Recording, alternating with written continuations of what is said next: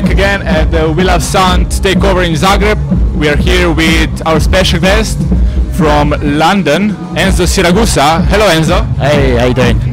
Uh, I want to know how did it all started with the Fuse. You know, the the, the organization, the idea, the people who were involved.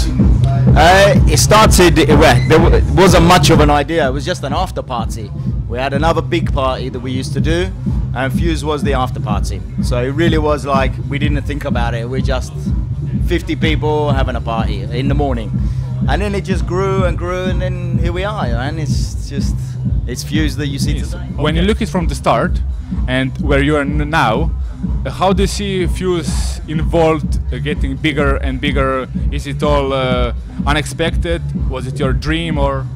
Uh, for sure, it, it is like a dream to be honest, you know, because but it's been very organic, you know, it's very natural, um, and, and it's not something I want to force.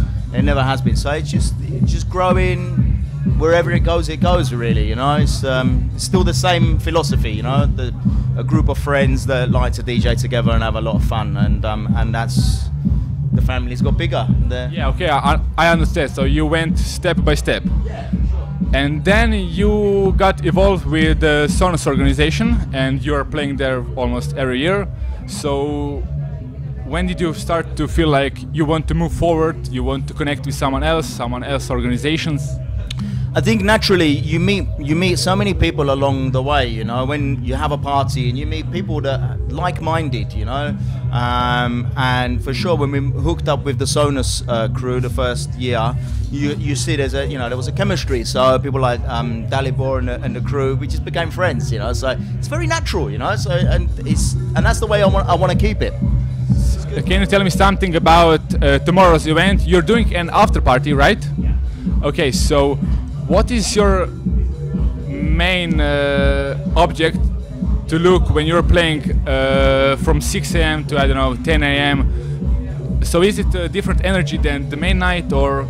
Yeah, for sure. I think uh, when you're doing uh, an after party, it's, it's more about the mood than the energy. Um, so, for example, at Sonus, when we do the after party there, you know, you feel it. You know, the, the, the, the venue is has that feeling. You know, and you go in there and you play just different moody music, and just you, you can go wherever you want. You know, that's the beauty of uh, an after party. Uh, Can you share some uh, words about Sonus? Uh, yeah, I mean, I've I've really enjoyed playing there, and kind of uh, I've seen you know we've grown with that the, that festival as well. Um, so it's it's good because they're they're bringing on board a more I, d- I don't like to say underground, but for sure you know a, a more alternative sound to the mainstream kind of stuff. You know, people like Fuse and and many other artists that I've I've seen playing there. So it's it's positive. It's good. is I want to ask you because I think it's more personal. It's when you did an essential mix. So how was the feeling when Pete Tong called you and say, "Hey Enzo, do an essential mix for me"? Sorry, who was this? Which one? Uh, Pete Tong when uh, he asked you about the essential mix. Yeah, uh, yeah. It was it was a big uh, big one for me because I grew up listening to the Essential Mix as a kid, you know. So, uh, yeah, when you get the phone call, it's like, yeah, yeah, You're also shocked. Okay, is it seriously? I need to find some records now. It's like, ah. but yeah, it was a, it was a great great thing to do for sure. Yeah, I, I listened to it and I really like. Do you know something about the Croatian scene and its uh, development? Uh, for example, uh, during summer, you know, we have a lot of festivals. Uh, How do you think, uh, for example, uh, against uh, Ibiza? Because uh, they always say like uh, Croatia similar to Ibiza, next to Ibiza.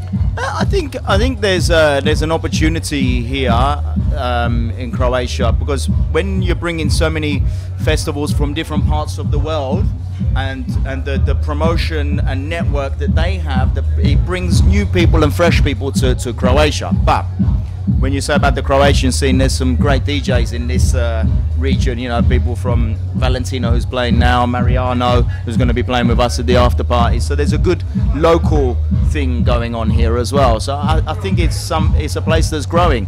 Ibiza is a different place now, but this is the beginning of something here. So it's good. It's very positive. Do your teammates, you know, Archie Hamilton, the Rossko, were you all uh, from the beginning uh, friends? So you started to become uh, residents or? Yeah, Rossko, uh, maybe let's say maybe 12, 15 years ago, Rossko used to come and listen to me play. So he was just a clubber and he used to come and listen to me play. So I've known him for many years.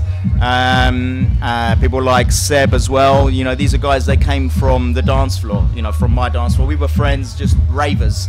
And um, now, uh, yeah, you know, they're residents. Archie came, I, I know him from Fuse, you know. So he used to used to come to the party, and um, yeah, like I say, we all met on the dance floor, which is is a good. It's all about the energy that you felt together. Yeah, I'm really looking forward to a set to tonight, as well as uh, tomorrow morning. Uh, can you please share some words to all the fans expecting you? Well, hopefully, uh, if you can't catch a set, but then hopefully we'll be seeing you here in Croatia another time, maybe a Sonus festival or somewhere else along the way. Don't miss it. We love sound. Enzo Siragusa, Fuse London. See you guys. Bye bye.